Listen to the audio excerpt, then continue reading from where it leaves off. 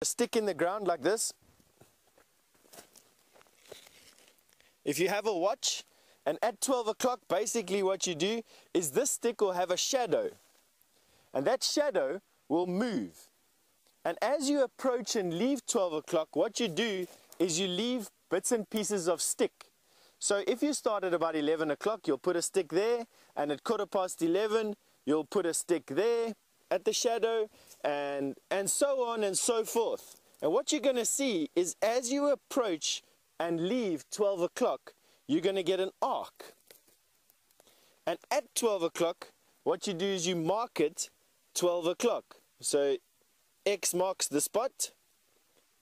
12 o'clock, the shadow will fall at 12 o'clock. And in the southern hemisphere, south of the Tropicorn, uh, Tropic of Capricorn, the sun is always north of us at 12 o'clock.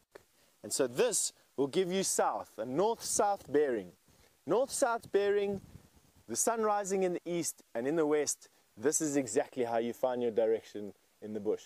I hope that helped for you, Justin.